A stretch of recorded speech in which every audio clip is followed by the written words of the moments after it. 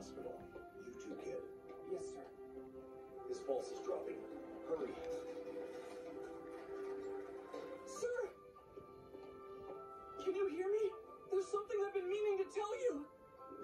I want to believe they could have saved Nighteye in this scene, or like, like these in these if they had these extra seconds, Midoriya just doomed him by just, oh sir, I need to talk to you while you're dying. Shittiest paramedics ever. This man is bleeding internally.